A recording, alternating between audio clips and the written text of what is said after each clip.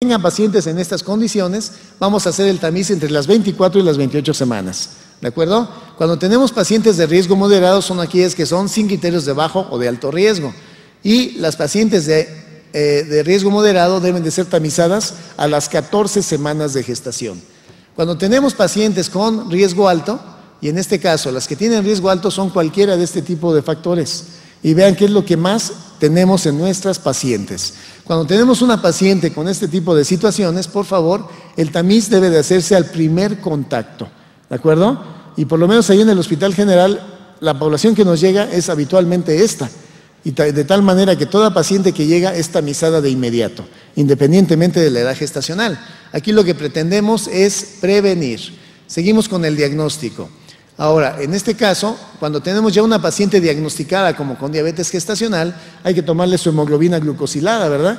Que nos va, a hablar del control metabólico en las últimas cuatro a seis semanas previas. Un valor por debajo del 6% lo catalogamos como normal, hablando de hemoglobina glucosilada tipo A1C.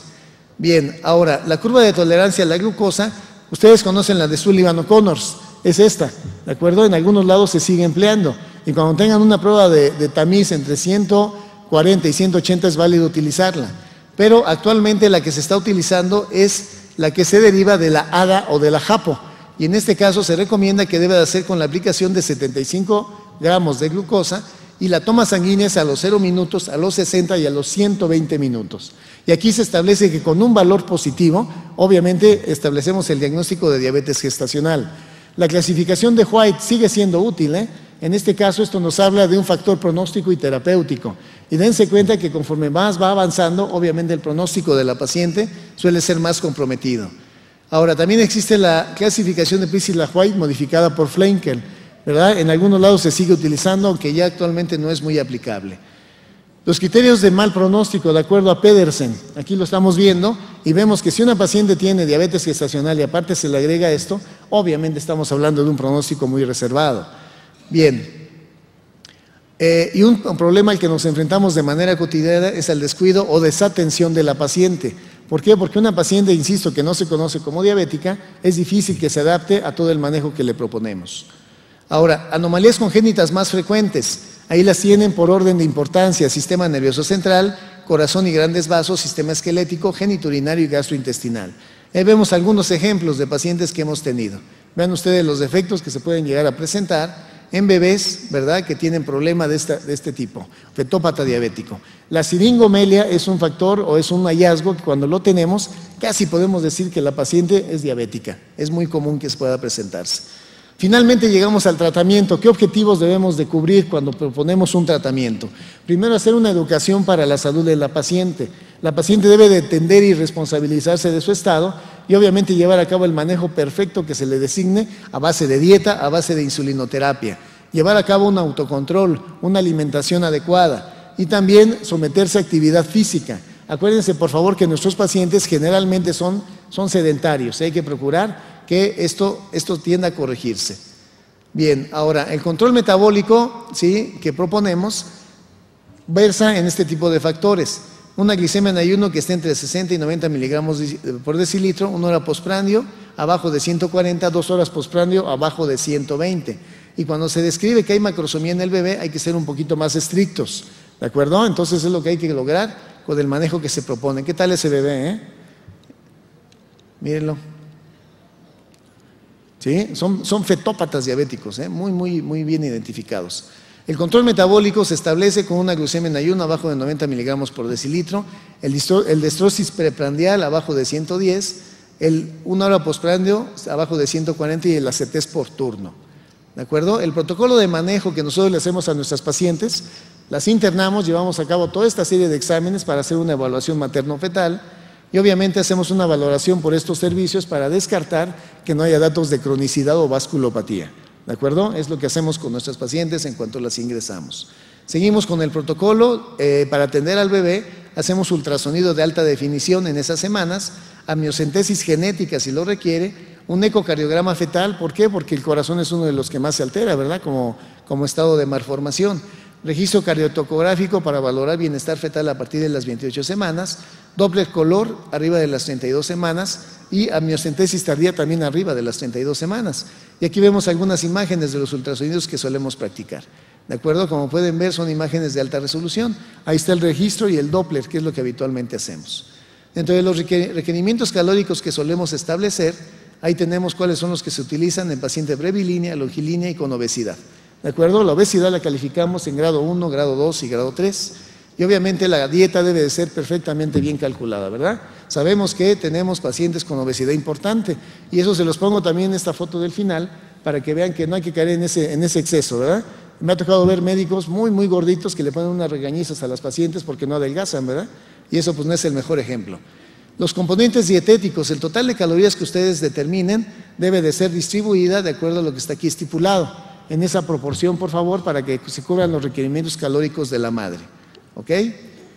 Y los esquemas de insulinoterapia también deben de ser muy, perfectamente bien aplicados y vamos a ver en este caso que hay tres esquemas, uno con monodosis con NPH, otro con bidosis con la misma NPH como está ahí referido y finalmente cuando la paciente no responde con este tipo de esquemas pasamos a lo que viene siendo la insulina NPH rápida dividida en tercios tanto en la, en la etapa del predesayuno como en la etapa de la precena.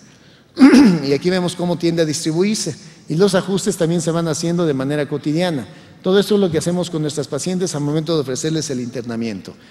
Hablar de insulinoterapia implica hablar de insulina Listro, de insulina Aspar, que actualmente las estamos ya utilizando durante el embarazo, porque se han catalogado como seguras, y otras que están en estudio que todavía no son empleadas por los efectos que pueden llegar a tener a nivel fetal.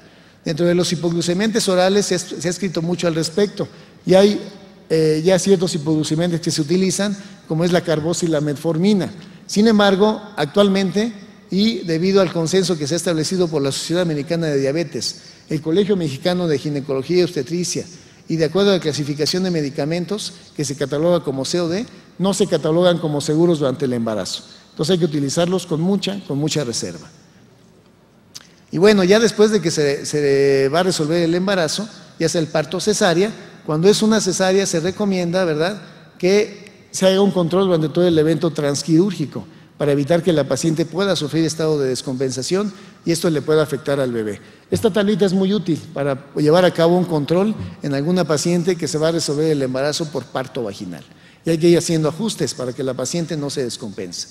Ahora, en el puerperio inmediato hay que mantener a la paciente con aporte calórico a una dosis o con una solución mixta a una cantidad de 125 mililitros por hora y insulina por destrosis cada cuatro horas porque la van a tener en ayuno.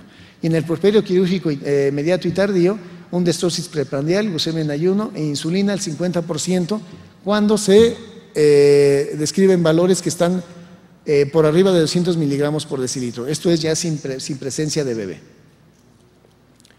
Y en el puerperio en las primeras 24 horas habitualmente recomendamos este esquema.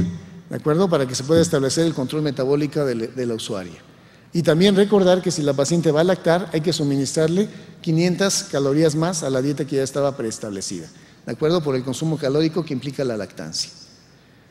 Vamos, ya termino en tres minutos. Efectos maternos tardíos que, tardíos que puede tener la diabetes gestacional. Ya dijimos, diabetes mellitus tipo 1 o tipo 2 puede ya quedar con ella, hasta en un 30% de los casos. Puede desarrollar retinopatía, nefropatía, miocardiopatía y un estado de obesidad que también puede ser mucho, muy marcado. ¿De acuerdo? Y bueno, la obesidad hay que, hay que cuidarla, ¿verdad? Y los efectos fetales tardíos, ha hablado mucho al respecto. Se dice que el fetópata diabético puede cursar con retraso psicomotor, desarrollo, retraso en su desarrollo físico, una obesidad persistente y un desarrollo de diabetes y que puede debutar en la etapa infantil. ¿De acuerdo? Y que es una cuestión delicada, ¿verdad? Y ahí tenemos, ¿verdad? Los bebés que ahorita los vemos. Y en este caso, un bebé gordito pues causa de primera instancia buen aspecto, pero dense cuenta que no es nada indicado tenerlos en estas condiciones. Y ya termino finalmente, se dice que la evolución tiende a ser en este sentido, ¿verdad? Y no debiera de ser de esta forma. Y tomar en cuenta que hay que acabar con ciertos estados o vicios, ¿verdad?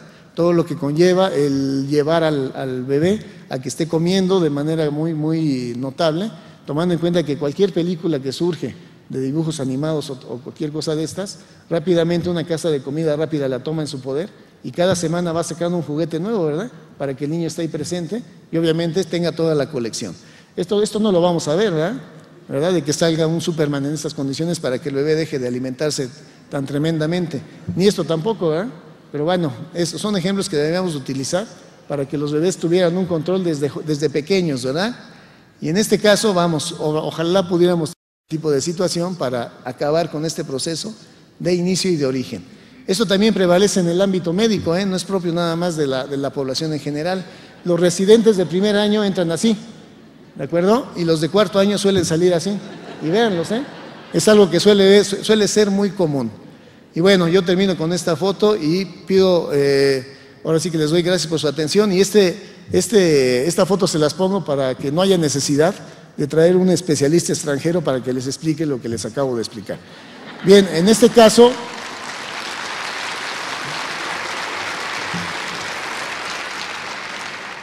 Perdón por la, por la prisa, pues, pero ahora sí que la, señorita lo hace en buen plan, ¿no? Pero tenerla ahí paradita me pone de nervio y por eso hay que echarle ganas.